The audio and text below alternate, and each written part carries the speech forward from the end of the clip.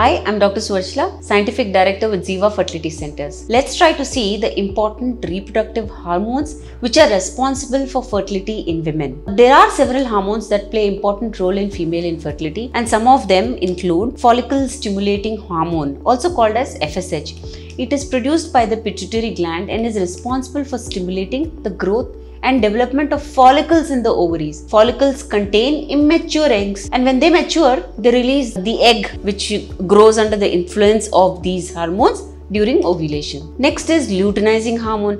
This is also produced by the pituitary gland and works along with FSH to regulate the menstrual cycle and stimulate ovulation. Then we have estrogen which is produced by the ovaries. This is responsible for the development and maturation of follicles and it also plays a role in thickening of uterine lining to prepare for implantation of a fertilized egg. When the egg is released, it comes into the tubes. If sperms are present, fertilization occurs. And then when the fertilized egg, which is called as embryo after that, it comes into the uterus. This hormone is also very important for implantation, for it to stick, so as to say, to the endometrial lining. Then we have progesterone which is produced by the ovaries and it is responsible for maintaining a thickened uterine lining in preparation for implantation.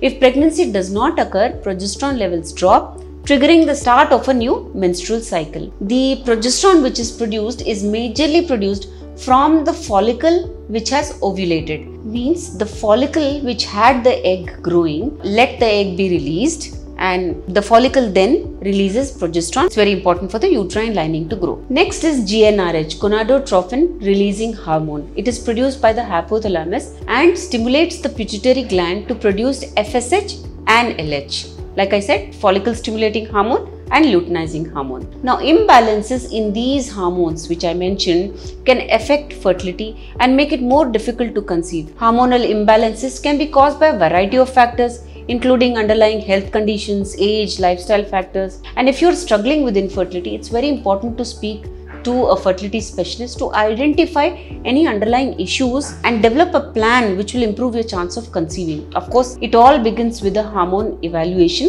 which is a very simple blood test. Some are to be done on a particular day of your period and some can be done anytime. So, these tests will then uh, throw a lot of light on the reproductive status of your body and then uh, like I said, customized plans can be devised to increase your chances of success. If you want to understand more about this, if you wish to seek an appointment, please feel free to contact us. Thank you. A lot of effort has gone into making this video. Please like and subscribe us. Thank you.